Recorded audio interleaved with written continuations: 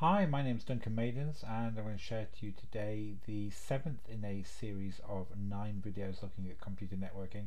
This one looks at a switch based Ethernet LAN which is the mainstay of our local area network connections today as of 2017 but things change rapidly so who knows where we're going to be in another few years.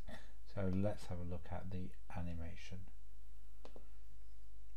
So we've got our computers that we want to connect together. We're going to label the computers A, B, C, D, E, F. These are their addresses. We're going to connect each to the switch. You'll notice the switch has got ports. The ports are numbered 1, 2, 3, 4, 5, 6. And within the switch there is a table which keeps a map of the ports and what addresses it finds on each port. So initially we've just powered our switch on. Let's see what happens when computer B wants to send something to computer E. It takes the data, encapsulates it, puts B to E on the front end.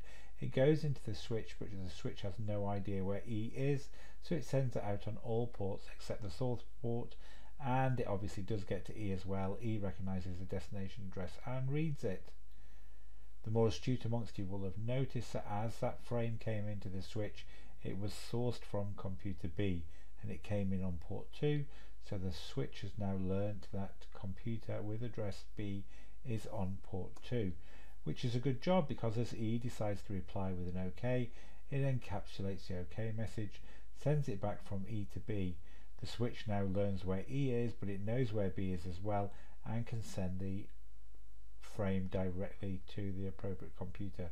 The switch has now learned that information over a period of time now as packets come frames come in and out the switch will populate its table and learn where all the computers are and it will have a full table which is its normal operating mode.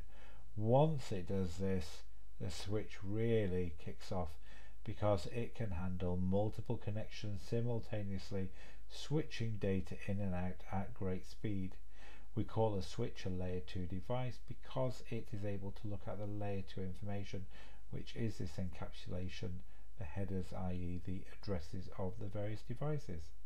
And that's how our switch works. It's a mainstay of computing, LAN computing today, built into all the home hubs, home routers, gateways, whatever you call them at home, and it's how we connect our computers together. It's a star-based network, runs at Ethernet or fast Ethernet speeds, that's 10 or 100 megabits per second. Although typically now we're seeing gigabit ethernet switches which are running at a thousand megabits per second. If you want access to the animations remember they're in scratch. All you do is go to scratch search for D Maidens and you'll find my computer networking animations. Thanks very much. Bye